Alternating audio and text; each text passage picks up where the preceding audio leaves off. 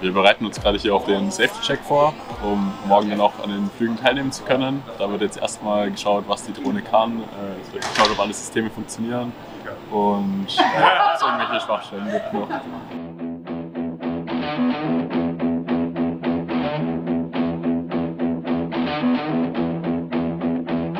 Nothing here to see, just a kid like me Trying to cut some teeth, trying to figure it out. Nothing better to do when I'm stuck on you I'm still, here trying to figure it out. Getting hard to sleep, blood is in my dreams killing me, trying to figure it out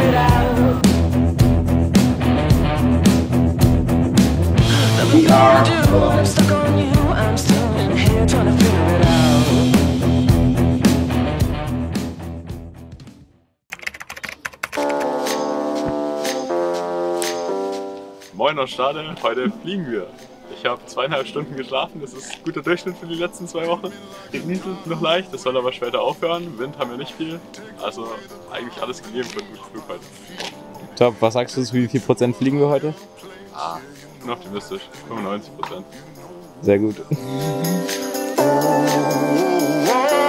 yeah, it's gonna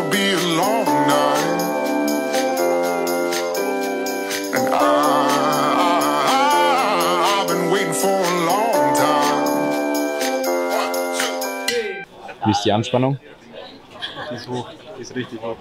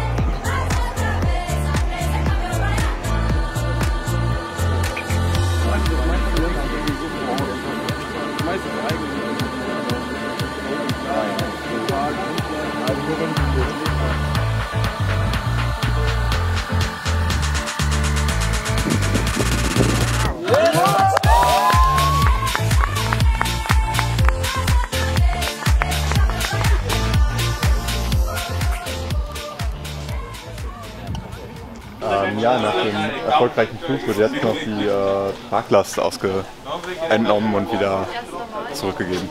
Außerdem wird noch äh, Batteriecheck gemacht und vermutlich auch die äh, aufgenommenen GPS-Daten noch extra auf dem USB-Stick gespeichert.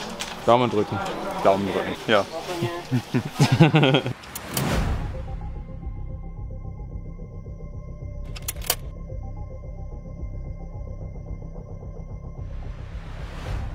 Ansonsten, Also das Ding ist, ist, es kann halt sein, dass gar keine Targets. die Targets liegen hier aber in einem 80 Meter Korridor. Die sind hier Wo so liegen in einem 80 Meter Korridor. die? Hier. Nee, also von Weil ich habe auch so von. bis von hier bis zum Ende der Startbahn und dann 80 Meter nach oben. Also Leon wertet gerade nach dem Flug jetzt die Target Detection aus. Ähm, wir hatten Verbindungsprobleme mit dem LTE-Modul, deswegen hat das Streaming auf die Webseite nicht geklappt. Und Leon tut jetzt manuell die Targets, äh, die erkannten Targets vom äh, Flight Controller auf seinen Laptop spielen und das dann an die Jury übergeben.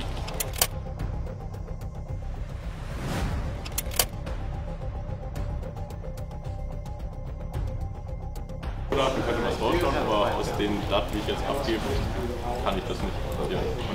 Ja. Also, da bin ich jetzt von was anderem ausgegangen. Das dafür, als dass jede Tag getrennt ist.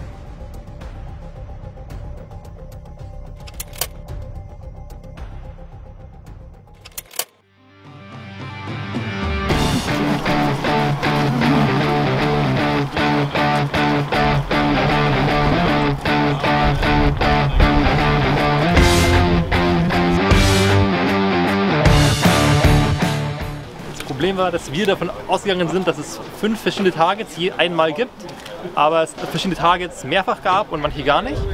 Und da der Leon in seinem Code aus den fünf besten Detections den Mittelwert bildet, war bei den Targets, die doppelt da liegen, die Koordinate irgendwo in der Mitte. Und damit äh, war der Code punktlos und jetzt haben wir in der Postauswertung aber nochmal hingedurft. Aber wir haben es hingekriegt. Top. Lately, I've been, I've been losing sleep, dreaming about the around. wir sind gerade im äh, Club und wir freuen uns auf die Preisverleihung. Die ist jetzt, äh, glaube ich, in einer Stunde oder so, aber jetzt gibt es erst am Eisen. Also wir sind schon sehr gespannt. Okay, alles klar.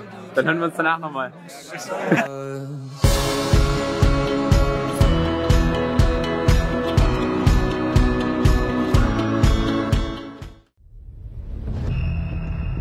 Case, I'm the one who presenting the third place, and the third place goes to. Don't get it wrong. Don't get it wrong. To Helios in Mexico.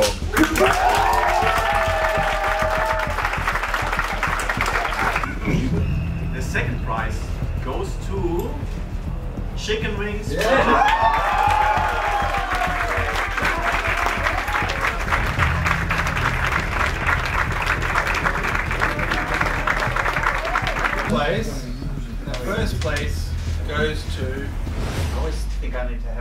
Have some suspense first. Just gonna have a sip of my red wine. So the first place goes to. Oh, now I've forgotten. no, I haven't. But I'm just gonna. I'm just gonna check the list just to make sure I don't screw this up. The first place goes to Team EvoLink.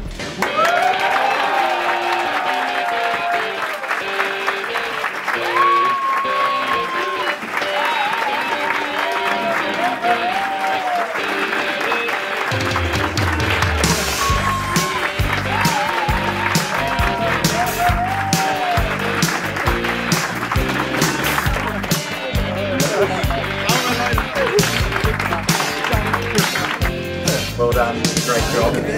Here you go. Congratulations. mehr Fehler gemacht und das Allerwichtigste war, immer zusammengehalten haben. Ich glaube, deswegen haben wir tatsächlich so gut performt. Und ich möchte mich auch bei euch allen bedanken, ihr seid echt.